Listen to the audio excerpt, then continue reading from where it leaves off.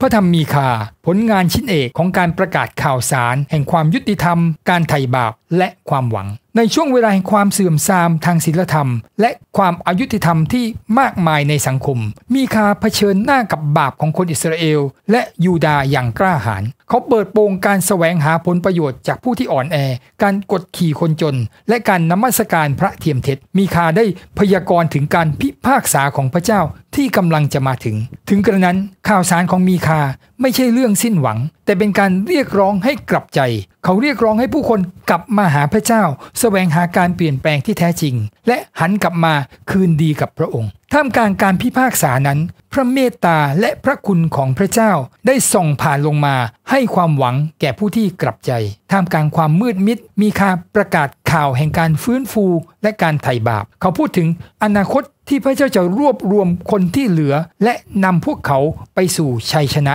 พระเจ้าทรงสัญญาถึงการเริ่มต้นใหม่สำหรับประชากรของพระองค์ มีคายังเผยให้เห็นถึงพระเมสยาที่กำลังจะมา เขาพยากรณ์ถึงสถานที่ประสูติของพระผู้ช่วยให้รอดว่าอยู่ที่เบตเลเฮม โดยเน้นถึงต้นกำเนิดอันต่ำต้อยของผู้ที่จะเสด็จมา เป็นผู้เลี้ยงแกะ และเป็นผู้ปกครองประชากรของพระเจ้า วันนี้